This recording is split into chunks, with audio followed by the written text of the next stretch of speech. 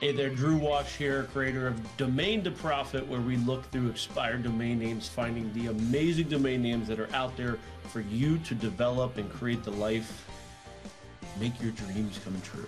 Well, in this video, we are going to spend some time looking through this here, expireddomains.net. I'm going to show you how to set up the filters that we use each week, Monday at 3 p.m. on Domain to Profit. And we are going to take hundreds of thousands of domain names that are expiring each week and bring them down to a lot less. and you'll be able to follow along with the exact domain names that we use each Monday at 3 p.m. When you go to expireddomains.net, it's going to look like this. And you're going to have to go all the way up here to set up a new account. It is a free account, so you should absolutely do it. Once you set up the free account, you will be able to come along and then change things up to this here, the dark background site.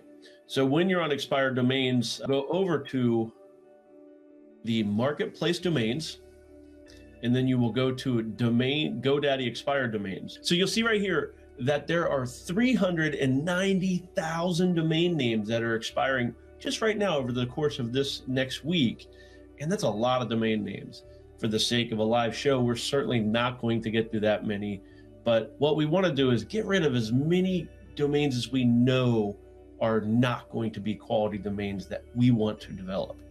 So we go over here to the show filters and we want to get rid of, we want to say no numbers. We want to say no hyphens.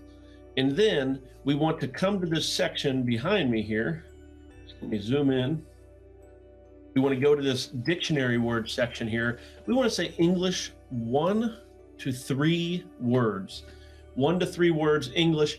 Feel free to play with this in your own time if you if English is not your primary language, or if you even want to look at four words. Sometimes you could find good stuff there, but for the sake of really narrowing things down, most domains we look at are going to be one or two words, but occasionally three. And for the sake of a live show, we get rid of all the fours. So one to three words, English, are what we primarily look at. So over here on the backside of me, we're going to, or backside, we're going to weed this down to just seven days of data. But for the sake of a weekly show, we don't need to look past seven days. Feel free to add on if you want to. Uh, but next week, we'll just look at the next seven days. Then we will go over to this additional tab that you'll see over there. Here, there's only one box we need to check, and that is the .com we only want to look at this GTLDs. That's referring to generic top level domains. .com is the primary one. It's really the only one we ever look at. Uh, very rare occasions do we ever think about any other domain than that. Why? Because .coms give us the validation and the authority necessary to launch a new domain development project as if we're experts right off the bat. So there you go. We set up, got rid of numbers, got rid of hyphens. We added one to three English words, limited it to seven days, and made sure that we're only seeing .coms. So we will scroll down, apply those filters, and you'll see for the sake of this week, it took us from 390,000 down to 84,000, which of those 84,000, we're only going to look at about 600 each week. So there you go. The final step would be we we order things by the valuation. So if you truly want to follow along with exactly what we're showing on domain to profit, you're going to want to order by this valuation here. And as I say each week, valuation is a number that GoDaddy applies to a domain name. It's a complete estimation based on past history and some other data that they have. And you don't want to use that number for the sake of assigning a purchase price.